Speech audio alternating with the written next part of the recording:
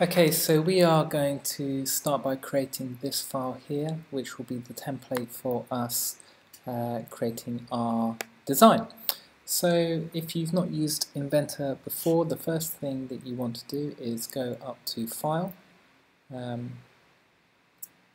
click, there we go, File, New, um, and then you need to make sure that metric is highlighted. If it's not, you won't be able to see the two that are here. So click on metric and then standard mm uh, and then create. That will start a new uh, part file for you. And the first thing that we do is start a new 2D sketch. Okay, so the first, very first time that we do this, we get three different work planes that we can select. Um, go ahead and select one of these. it doesn't often matter which one it is that you're going to use. Now we're going to uh, start by choosing rectangle two point. Okay, and then you want to come down, you want to click on the very center here.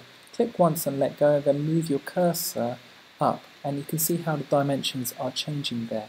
Um, I want you to do 80 as the first dimension, so tap in 80 and then press the tab button in the top left part of your um, computer keyboard and then that will take you to the next dimension which should be 70 uh, press enter. Now that square is much bigger because we're so zoomed in we can't see it all, but if you hit the um, magnifying glass here called zoom all, so if you click zoom all, it will bring everything into focus on your screen. The next thing that we want to do is we want to create the circles that we are going to use. So I want you to click on the circle tool and I want you to click roughly around this area. Click once and let go and bring out your cursor our um, circles have a diameter of 5, so I just want you to tap number 5 now in there and press return. Um, you then want to dimension that circle to the right place. So click on the dimension tool, click on the center of the circle, not the outside, and then click on the top line like that. Okay, and then one more time click outside here. So it's three clicks that you want to do and you want, then want to tap in 10 and enter. Um, you need to, you've done the, uh, the, distance from the top line, now you need to do the distance away from this line. So click on dimension, uh, you can either click on the center, make sure you don't click on the edge, if you do that it will give you the dimension of the circle, so press escape to get out of that, click on dimension again, um, and the center, or you could do it the other way around where you click on the line once, it thinks you're doing the line until you click on the center of the circle uh, once and then come up to the top and click again and tap in 10. Okay, we want to do the same thing on the right hand side. Click on um, circle, come over roughly around to this area here, um, start a circle and dimension it by pressing 5 and enter. Then click on your dimension tool, click on the top line, click on the center of the circle. Um, sorry, I accidentally clicked on the side. So click on the top line, click on the center of the circle, and then click on the outside there and tap in 10. And then you want to do the same thing from the side. So click on the side line, click on the center of the circle, and then come up to the top and tap in 10. Uh, actually, this dimension wants to be um, 15. So just double click on that and make that 15 millimeters. This uh, circle is slightly lower.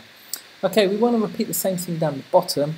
Um, so uh, the easiest way to do this rather than drawing our circles again is to click on the line tool, then to click on this um, construction line here and then hover over this until you get until it goes big. So you want to be roughly in the middle um, and if you hover over it will suddenly go big there and that is the center of that line.